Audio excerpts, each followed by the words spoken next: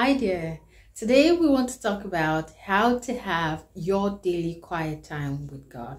And in this video, I'm going to be sharing how I do mine. I'm going to be sharing my own personal quiet time routine with you. Now, this video is not to tell you what or what not to do. This video is not to give you some sort of a commandment or something.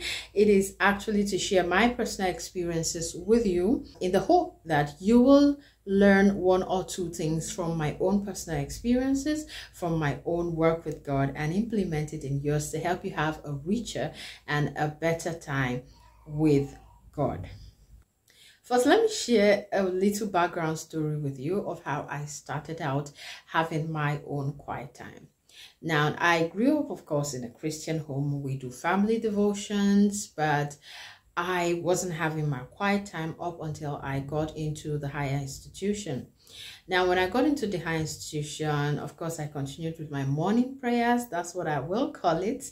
I'll have my morning prayers. Sometimes I read the word of God, sometimes I don't. I just pray get up, dress up, and go to school or go to um, church, as the case may be. And then along the line, I rededicated my life to Christ.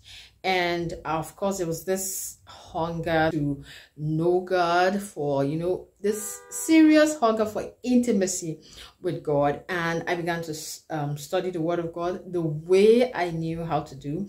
Now, what I was doing then was I would take my church jotter, you know, the jotter that I take to church and jot messages, sermons, Sunday sermons, and the weekly activity sermons. So I will take it and I will use those jottings, the things that I wrote down, to do my prayers, right? I will re read through and then I will pray. That was what I was doing then.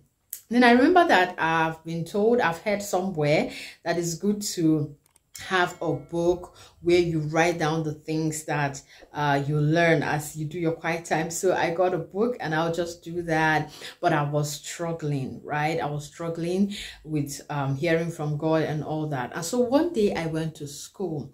I went to class and while I was just standing at the at the front of my classroom, one of my classmates just walked up to me and he was like, hello, Elizabeth. I was like, hi. So we, we were just talking. And then he asked me, do you do quiet time? I said, yeah, yes, I do. He said, how do you do your quiet time? And I was like, hmm, what kind of question is this? But I was like, okay, fine. So I told him what I do. This is what I do. I pray. I use my jottings in church, you know, from um, Sunday sermons to just read through it. And he was like, okay, that's good. And he promised me that he was going to come with his own personal quiet time booklet and that he was going to show me how he does his so that I can have a better idea on how to do it right? So the following day he came to school with his own he showed me what he does how he does his own. In fact he showed me his own quiet time routine. And guys i was blessed. Yes i felt so happy. I was i felt so lucky. I was like God, you really knew I needed this, right? And that's one thing with your work with God. God knows what you need per time and he will bring it your way. So take this video as God bringing it your way to actually have a richer and a better time with him, right? So after he showed me his own routine and he told me to go ahead and do uh, and implement uh, what he has taught me. I went home and of course i started out doing practically exactly what he taught me right? I'll follow his routine exactly the way he does it. And as i started with time things began to change. It became i started personalizing it to become my own routine because this is a walk with god right? So with time it was no longer a strict routine. I wasn't following exactly what he showed me. I developed mine and since then it has changed from time to time. Now usually a routine is a standard way of doing a thing. Like this is how i do it and this is how i do it. You don't change it. So but when it comes to quiet time um, it can change. This is a walk with God. The Holy Spirit is in charge here. He directs. So sometimes you can wake up and you follow a particular routine. Another day you can wake up and you could decide to just sit in silence, pray and hear God speak. Sometimes it could start off with worship. So the routine could shift a bit, but there are certain things that will remain common whichever way it goes. And one, the most important element of a quiet time, I would say, is you um, sitting quietly to hear from God. Remember that the goal of having a quiet time is to build intimacy with God. So, what the most important aspect of your quiet time is that moment when you talk to God and you sit in silence to hear from him. You have to hear from God. It's a two-way communication. It's not a one-way communication. Again, the ultimate goal of having a quiet time is building intimacy with God. And if we are not doing this, then the purpose of having a quiet time is defeated. That being said, how do I have my own quiet time. What is my own quiet time routine? I know many of you are waiting to hear what I'm going to say. Now, if you listen to my story carefully, you would have heard when I said that my routine changes from time to time. Usually, I love to have my quiet time in the early hours of the morning. I prefer that time.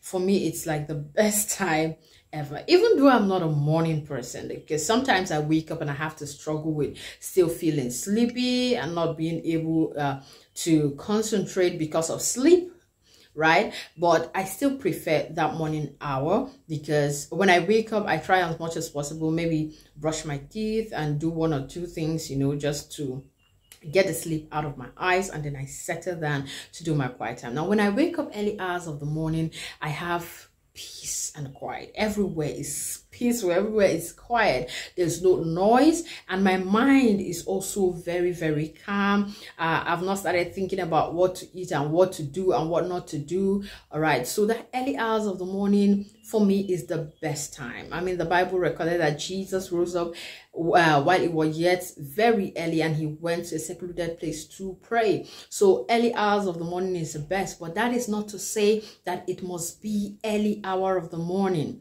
For example, when I was single, I used to wake up as early as 4 a.m. to have my quiet time, right? 4 a.m., 4.30 a.m., I'm awake to have my quiet time. But by the time I got married and had my I had my first child, it changed, right? Especially during the early nursing time. Okay, it's difficult. It became very difficult for me to meet up with waking up by 4 a.m. because sometimes after all the struggles with the baby at night, not having enough sleep, so I find it challenging to wake up at 4 a.m. every day for my quiet time. So that period I struggled. When I had my first child, I struggled with my quiet time. In fact, there was, I think there was a month that I practically didn't have my quiet time at all. I'll just stand up, just pray and move. And of course, my life was, uh, I don't know how to explain it, but it was not funny. It wasn't okay. I knew that something was just off. I was no longer comfortable. There were so many things went wrong and I knew it was because my relationship with God was I wasn't having that intimacy, you know, that intimate time with God. I, I felt quite drawn away from Him until I got to understand that it mustn't be 4 a.m., right? You just have to find a time that is quiet, a time that you have no distraction, a time that you can sit and actually have this one on one time with God. And when I found that out, everything changed for me and I picked up again. You know, God is merciful and He loves us so much. So He is very patient with us and He's ready to show us uh, what we need to do to pick up in our walk with Him. And He did that for me. Now, by the time I had my second child, I had this understanding already. So right now, as I'm talking to you, I don't have my quiet time 4 a.m. anymore because I'm not able to meet up with that time, even though I prefer early hours of the morning before I start any other thing. Now, what I do is that when I wake up early in the morning, I pray. Of course, prayer is still the first thing for me in the morning. I pray. And after I pray, I just go up to prep for uh, my son for school. You know, uh, immediately they are done and he goes to school. As when it's off, the house is empty. It's just me and my little girl I she usually still sleeps in that in that hour of the morning. Then I'll settle down to do my quiet time. At that time, everywhere is quiet. Children are off to school. My husband has gone to work. Okay, I work from home, by the way, so I have that opportunity. For those of you who don't work from home and have to go to work early, you still have to find a time that will work for you.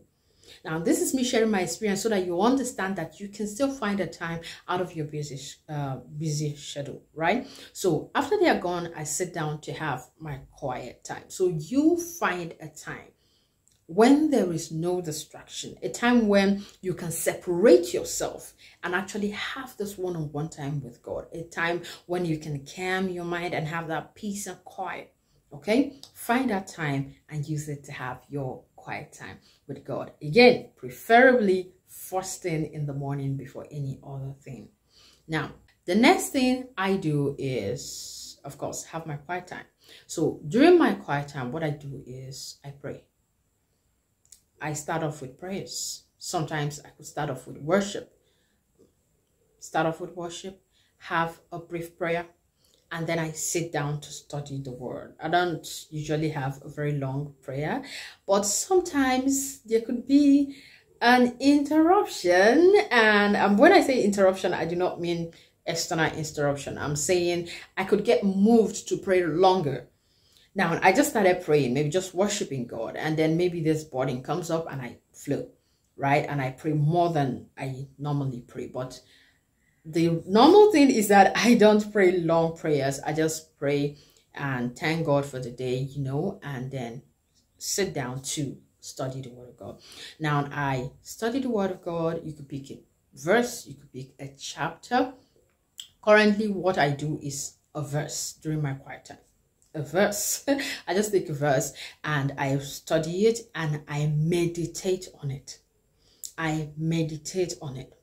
And after meditating on it, as I'm studying and meditating, I am writing down the insights that I'm getting. I'm writing down the lessons that I'm learning and I'm writing down the applications. What am I going to do from what I have heard today? Remember that the primary way to hear from God is through the scriptures, right? So if you're struggling with hearing God, scripture is the primary way through which God speaks to each and every one of us. So make it, uh, you can include it in your routine to study the scripture every day, all right? To read, even if it's just a verse and not just reading, you study it, you meditate on it, all right? And then you pray on it and you pick out life applications as well. What is God talking to you? What is that thing that has jumped at you as you're studying and you apply it to your life? That's how I do. Now, recently I've also incorporated staying quiet to hear from God in my quiet time. And that is